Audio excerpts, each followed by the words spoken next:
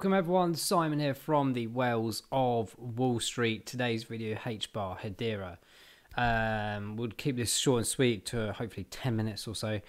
Uh, we've got a few videos to get through. Um, guys, we're going to have a quick topic around uh, the hacking that's been going on the last few days, uh, where we're at with that, because um, I know there's some people have been asking on various groups of mine, you know, they can't get access and whatnot. Um, so we're going to a bit of a deep dive on that quickly.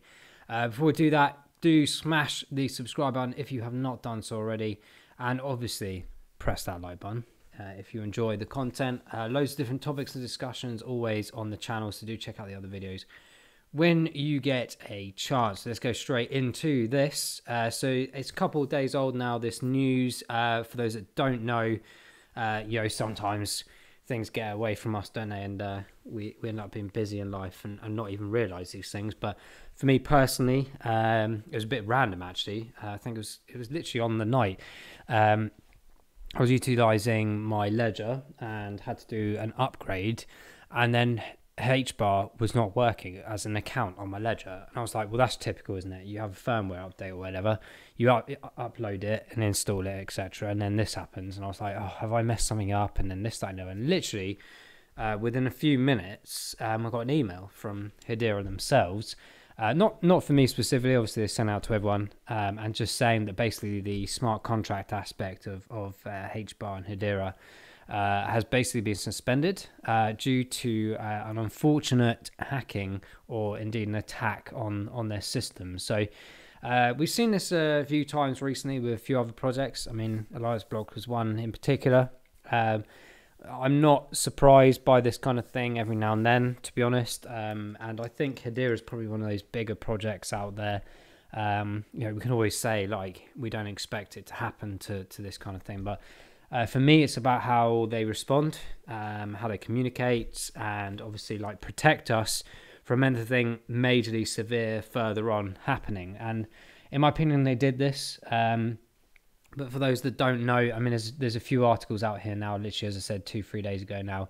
Um, the importance to understand with Hedera, of course, is they're very much governed by a multitude of companies. Uh, in an extent or certain people within those companies, the likes of Google, for example, uh, is obviously one of those.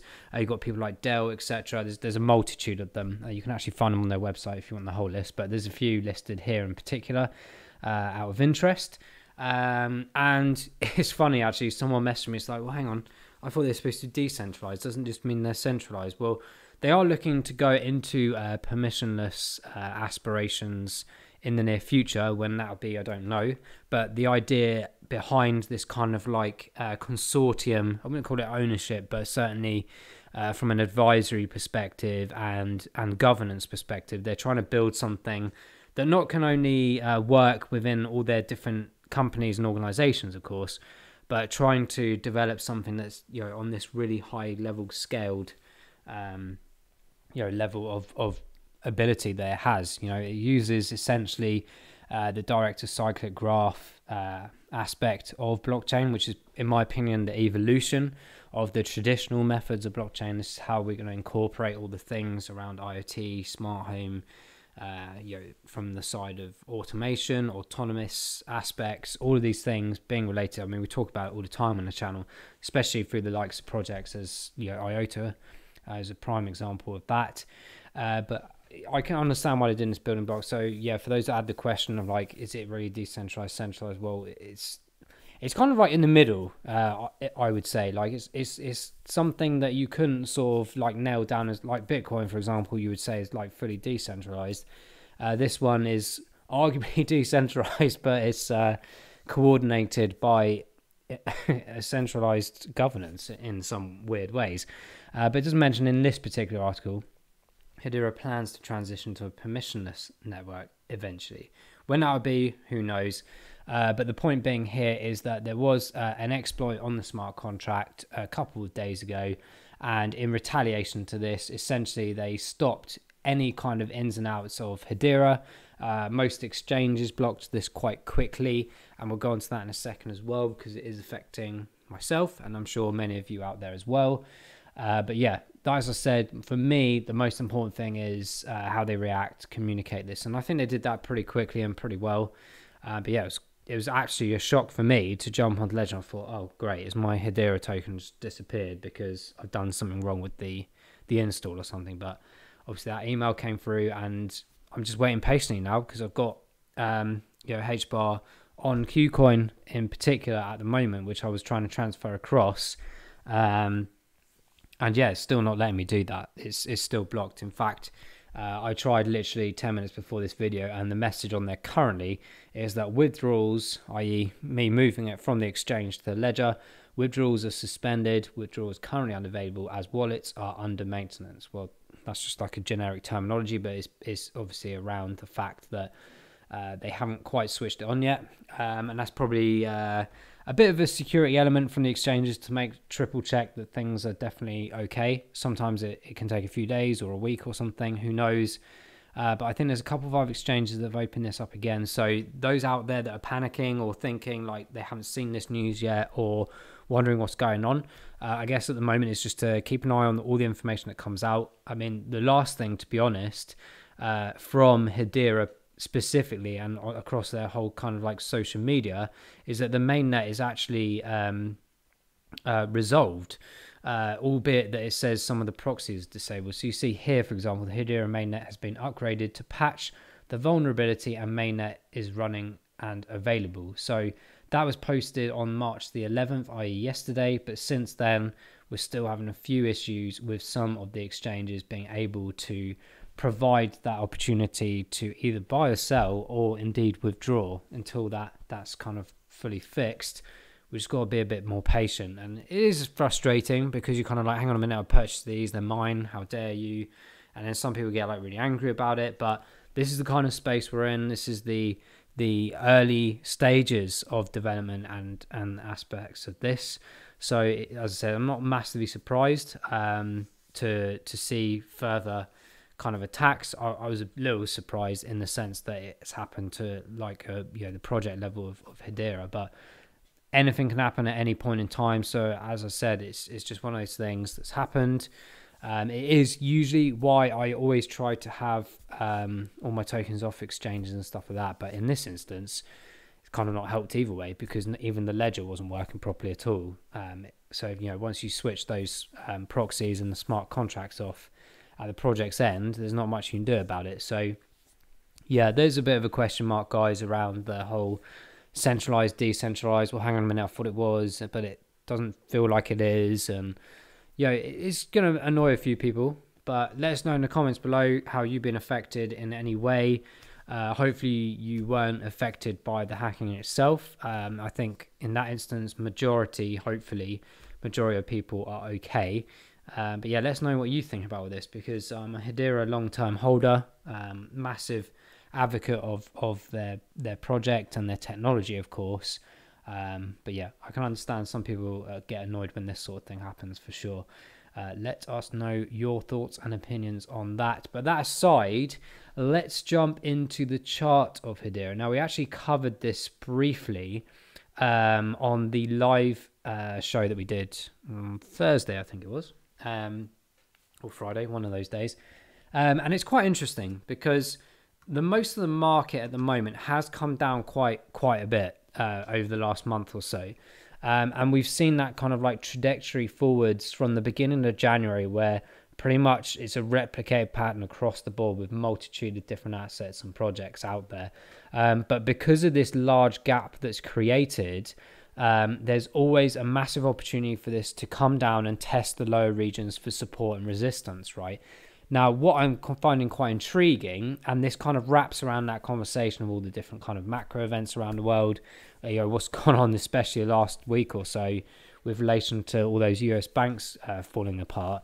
Um, there are elements and correlations of some of these being affected because you know some of them are related in terms of crypto banking but also just in general, the finance industry, um, people tend to put the two and two together and get concerned and, and arguably pull their money out even further. But that aside, generally the market has been coming down, and I wasn't surprised by that at all. Um, the only little surprise I had was that the way that we sped through this particular area so quickly. I was expecting a few days, perhaps, of some sideways movement here to to test this region properly, but literally it broke through. Um, so we're just talking really about this kind of roughly 6.8 cent mark, okay, which coordinates around this big kind of like nice sideways movement that we saw between the middle of January and arguably roughly around the middle of February, respectively, as well. Uh, but that has indeed uh, broken through that support, and we've kind of literally on a downward slope all the way down to these particular areas here. So just literally touching on these fib levels of around five and a half cents. So for me, this was a really good DCA opportunity coming in. Hence why I've gotten onto KuCoin and now I can't get the things into my ledger. But that's just the way it goes, right? But the important thing for me right now, um, having gone past this particular area, um, it looks like it's slightly higher than this area, which it is to an extent if you look at it overall. But my points being, and, and roughly around where we drew this orange line quite some time ago, um, these drop down candle wicks here to sort of around 6 cents are literally in line pretty much with the top areas that we saw back here in September, October last year in 2022. Um, but now we are seeing this area of the fib level back at around five and a half cents. But these top wicks over the last two, three days are around about middle to the bottom wick edges of the third uh, October and se- September last year as well. So overall, we're in this very interesting critical point, in my opinion, where I'm expecting, like I was hopefully uh, trying to see here as well, but I'm expecting some sideways movement over the next few days. There could be some action all the way back up to here to test this region eventually. How long that takes, we don't know. Could be days, could be a couple of weeks, who knows. Um, and swing back up there to test and maybe drop down again. But at this moment in time, we're seeing a bit of stability over the last three or four days and we could see that. But if that breaks, guys, the volumes aren't coming in, the confidence isn't coming in, then we could see the retaliation of that even more so to then potentially come back down to these lower areas. So the live show we covered the other day, that would take us to around five cents. So this is why I've got first of all I have my limit orders here, and I don't even know if they've gone through or not. I need to double check that. I don't think they have because of the smart contract. But the point being is that I managed to DCA about four, three, four days ago um, and and rightly so in my mind for me personally to get those areas of just under six cents. But I do have these buy orders round here at five and slightly lower regions of four as well. Uh, this is kind of like a very top heavy kind of aspiration. Uh, but I do think that these these particular two areas, one of which we're in now, and the one down here, are, are definitely achievable. Um, because if we pull this chart back completely, all the way back here to 2020, sounds crazy, but we do need to understand this data point as well. This is where we are right now, just floating around, around five and a half cents. It's literally in line with the top uh, edges here, the top of the candle wick, sorry, of both February 2020, back here in September 2020, and back in the January of 2021 as well. From that point, we went up flying. And that's not what I'm suggesting that we're going to do in the immediate future. But what I'm stating right now is that we've had that upward trend, we had the bull cycle, we're now coming down. But if you think about it realistically, with these three points in particular, and certainly arguably more recently between that sort of August September period, there's not really much data to suggest that we are definitively at a support line. And that was proven the last few days because we went past that. And now we're floating back down here, which is very much just in the sort of middle grounds of these areas. So when we put it back into the shorter term here that we've got on the screen right now, we can start to identify well, actually, there's no full extensive answers here to suggest that we've got any support structure even in this current area. That's why I've got these buy orders back down at these lower regions of the 5 cents and the 4.5 cents as well. Because if we look again back in the data before this massive black gap here, this is where we were last testing it back in 2020. And obviously, of course, in 2020, we had a bit of a crash further because of everything that was going on. Um, but this year, they're talking about all the interest rate hikes. The banks have obviously been collapsing last week or two. It's just signaling in my head that these these things are, you know, maybe around the corner. And I've, I'm still in the camp of thinking that Bitcoin will will potentially come back down to that twelve to ten thousand dollar mark eventually.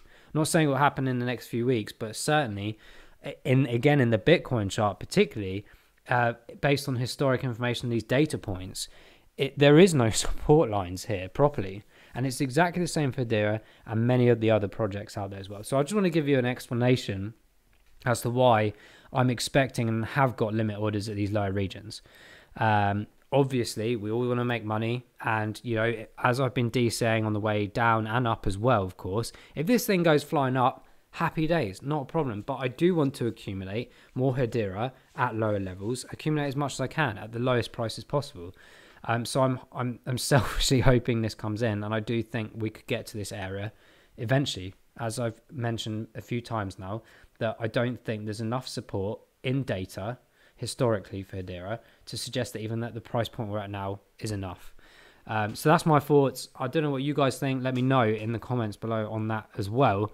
Uh, but DCAing, which again I need to check whether I can actually buy this or not still in the exchange because for me, especially on that 14 day at 27, I'm, I'm referring to these three RSIs here the 14, I don't know why it's in the wrong order 14, 28, and 90 based on the days. Um, so yeah, currently 29 on the 14th day and 41 on the 28th day. These are really good areas for me at lowest points uh, before we might see a bit of stability over the next few days. Uh, that 90 days coming down slowly but surely. But yeah, for sure, I think when we get to that kind of like five cent, four and a half cent area, that could be where the 90 day comes down to near that 40 mark, which is just really a superior buying opportunity, in my opinion, um, and what I will definitely be doing. But these next few days could be really interesting as well. As I said, with the interest hike information, we've had the employability aspects in the US last Friday, and that does have a significant effect as well in terms of confidence and everything, and the infrastructure of are we still in a recession? Are we at the beginning of one? Are we going into a bigger one? Who knows, guys? That's why I try to um, obtain and accumulate where and when I can at these various different points because you never know what's around the corner. No one can predict 100% for sure. All I do personally, and what has been working for many years, is looking at that structured information and data points from the past because then you can understand how traders' uh, philosophies work in these areas. You can even look at the order books, you can see it clear as day. Um, but they're, they're, my points. They're my points of thoughts of, of where I think we could be going to. But as I said, this current area, I, I'm, I'm always trying to accumulate when I can. Uh, let me know what you're doing in the comments below. But guys, that very much wraps up today's video of Hedera. Um, I'm sure the, these last couple of days haven't really helped with the fact of the smart contract situation as well, of course. Uh, but yeah, performance wise on the right hand side here, just to clarify these bits before we go. Uh, 10% down on the week, 90% down on the month. This is again reflective across most assets. If we pulled back like a few weeks ago, most of the assets, including Hedera, were in really good, strong green positions, and everyone was like hunky dory, thinking, "Oh, it's all over now." Uh, but I was very calm, and I knew that we'd potentially be coming down um, at these kind of areas again. So it's interesting to see it happen. Um, but that three months is just clinging on to some green there, but that six months overall is still not great. And I still think we've got a, a, quite a bit of way to go, guys. To be honest, before we can even you know entertain the word bull cycle. Um, let's see how that goes, guys. But hopefully, um, in the next Hedera video, we'll have some further information as to what really happened uh, with that smart contract situation, and obviously as well more information as to what prices we will see from Hedera over the next two weeks. I'm jumping off this one now, guys. We've got a few more videos to do this evening. Thanks for watching. We will see you in the next one. Take care and bye bye you